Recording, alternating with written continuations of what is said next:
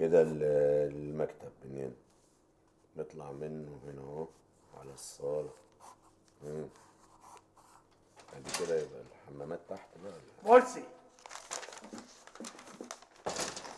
النهارده أنا أسعد إنسان في الدنيا.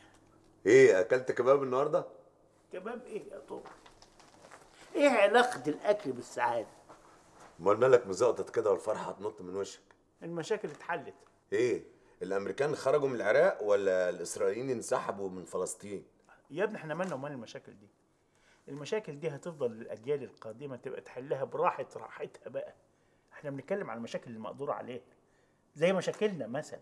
إيه أخيرا اعترفوا بيك؟ يعني الأهم لبنى مشكلتها اتحلت. ومحمود مشكلته اتحلت كمان. طب ومشكلتك أنت مش هتحلها؟ هحلها يا مرسي هحلها. إزاي؟ هترفع قضية؟ هرفع قضية على مين؟ إذا كانوا ولادي مشكلتهم إن هم مش معترفين بعباس الدميري. أنا مشكلتي أكبر. مشكلتي إن مفيش عباس الدميري ده في الدنيا. آه هنبتدي بقى في الخلل وضرب الدماغ. افهمني. أنت فاكر الكتاب اللي أنا كنت جايبه من العراق وخايف عليه زي روحي؟ أنا ما شفتش معاك كتاب. يا ابني الكتاب اللي كنت قاعد أكتب فيه طول سنين السجن. آه قصدك شوية الورق الزبالة دول؟ هم شوية الورق الزبالة دول هم خلاصة عمري كله. أنا مش فاهم حاجة. شوية الورق دول هم اللي هيرجعوا عباس الدميري تاني. أنت ناوي تجنني؟ إزاي الورق ده هيرجع عباس الدميري؟ هنشره في كتاب. طب والكتاب ده هيوكلنا عيش؟ يوكلنا عيش. يا ابني بعديها نبقى مليونيرات. من شوية ورق إزاي؟ الكتاب ده هيقلب الدنيا. هيهز الوطن العربي هيهز العالم كله. الكتاب ده عبارة عن نظرية بحث في التاريخ كما يجب أن يكون. يا عم إحنا عايزين ناكل كما يجب أن يكون. الكتاب ده هيخلي ولادي يفتخروا بيا هيخليني يا مرسي أقعد قدام ليلى وأقدر أقول لها أنا أبوك يا ليلى أنا أبقى عباس الدميري ده.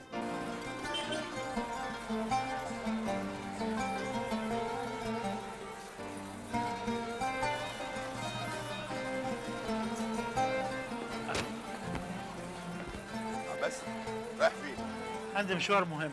طب عايزك في كلمتين مهمين. طب قول أنا عايز ألحق اليوم. هنتكلم في وسط الشارع كده؟ تعالى نقعد. الأول طمنا على محمود عامل إيه في الشغل؟ لسه ما يبانش دلوقتي لكن باين عليه ولد ممتاز فعلا. مش هوصيك عليه تاني يا محمد. إيه حكايتك يا عباس. عمال توصي على محمود اتجوز لبنى.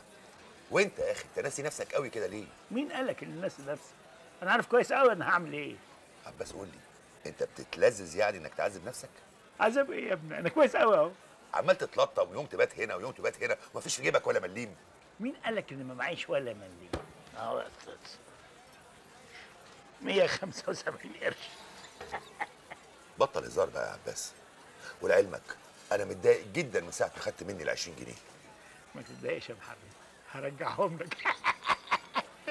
بص يا عباس أنا أنا قررت انني أجيب لك شقة صغيرة كده علشان تقعد فيها وعربية و... وهديك راتب شهري لغاية بس ما الأمور تتصلح. فيك الخير والله يا شقة وعربية ومرتب.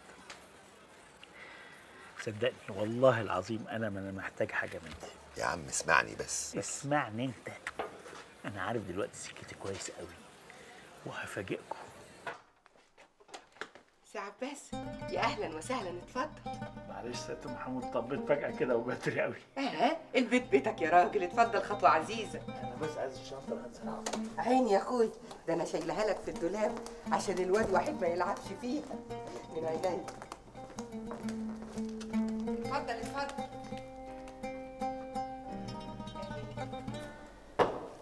اهي يا أخويا اتحطت إيدك تسلم إيديك. تشرب إيه بقى؟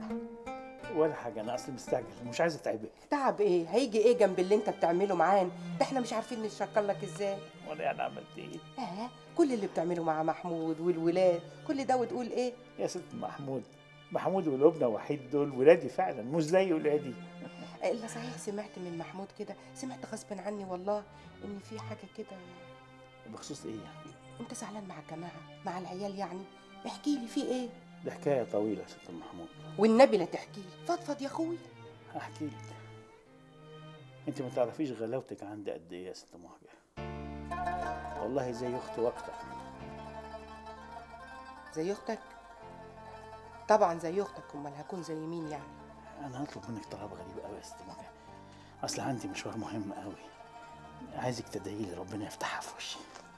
سلام عليكم. سلام. ربنا يكفيك شر المداري والمكتوب ولا انت جداري. ويرجعك لعشك ولا حد يقدر ينشك. يا سي عباس يا أخويا.